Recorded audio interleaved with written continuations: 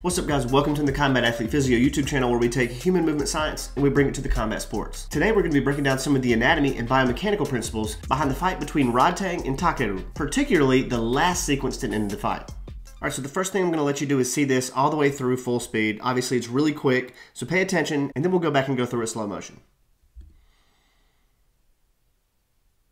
Okay, so we've got little sequence here. The first thing we're going to do is start from the ground, and then we're going to talk about how he works all the way up through distributing force through his body. And then on this second punch, we're going to look at some of the principles behind what happens whenever somebody gets knocked out or knocked down like this when they lose consciousness for a brief moment.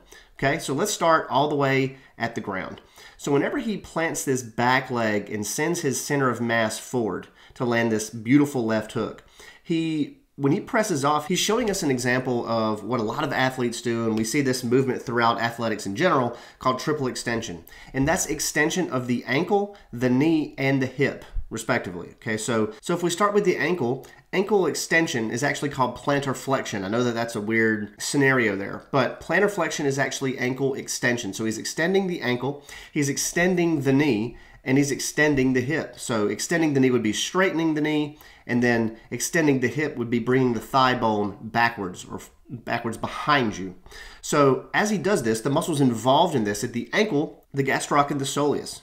And then when we move up to the knee, the straightening of the knee or the extension of the knee is happening due to muscles called the quadriceps. Those muscles straighten the knee. And then we've got a combination of the hamstrings and the glute max that are helping extend the hip. Okay, so there are other muscles that do it, but those are the main ones.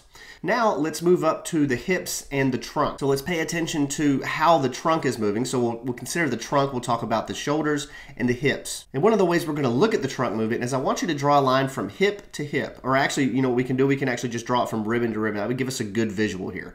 So from ribbon to ribbon, and then from shoulder to shoulder, particularly in this clip here. Okay, so in this position, if we draw a line from shoulder to shoulder, ribbon to ribbon, we see that those planes, those lines would be relatively parallel with one another. Now, as he plants and he sends his center of mass forward, notice what his hips are doing. Pay attention to his hips first. His hips go from facing his opponent, Takeru, to the right, our right of Takeru, okay? So notice that hip switch. Now, watch what happens with the shoulders. So just pay attention to the shoulders now. Now, if we take in mind what we just saw with the hips and watch the shoulders with the hips, we can see that the hips turn a lot quicker right here. So you could barely see that writing anymore, but you could also see both of his shoulders kind of facing in the same direction. So his shoulders maintain facing Takeru, and his hips turn to the right. And what this does is this kind of creates a twisting motion at the trunk. And this twisting motion at the trunk does a couple of things. You can't really see the muscles very well from here, but the external oblique in the front of our muscle, we consider this like an anterior trunk muscle. And then some of the muscles in the shoulder girdle, the anterior delt and the pec major, which are involved in throwing a left hook like this, which is essentially just bringing the arm around. We call that horizontal adduction.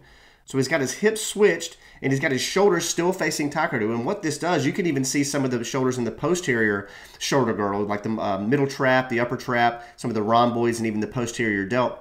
That's helping with that wind up motion. Okay, so what happens is muscles like the external oblique, the pec major, and the anterior delt all put on stretch. They lengthen under tension.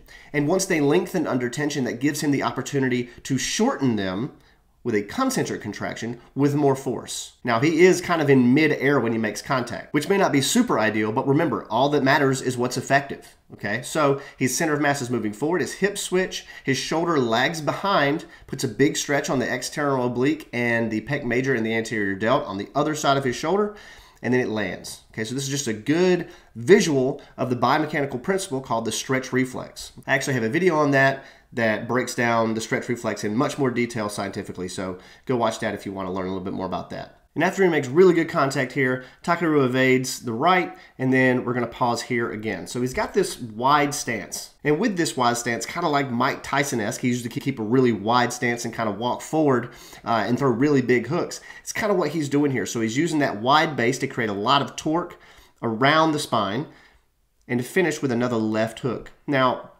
we've already talked about what happens during that left hook up here in the up here in the upper body. But let's talk about a little bit more about what happens here as he makes contact and some of the mechanisms that might play a role in this, what we call acute loss of consciousness. This loss of consciousness, pretty self-explanatory. It means that you are not conscious anymore. And acute means it happens pretty quickly. Okay, so right when you make contact, it's acute, and then you lose consciousness. What we think happens is this rapid acceleration and then subsequent deceleration especially a rotational force, seems to put a lot of traction on something called the neuron or our nerves. And a neuron, very basically, is made of a cell body, dendrites, and an axon. And part of the nerve or the neuron that carries the signals is axons.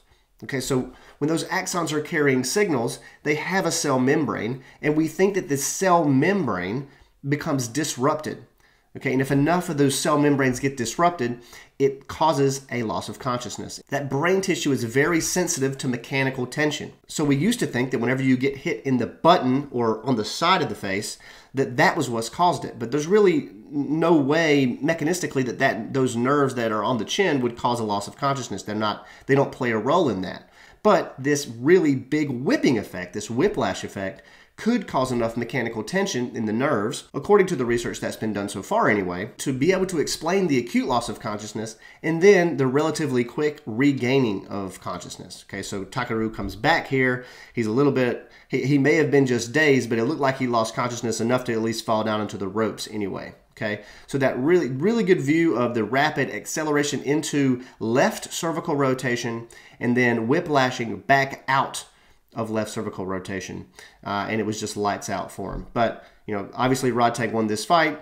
Uh, let me know if you guys like this kind of breakdown. Thank you guys for watching, and I'll see you next time.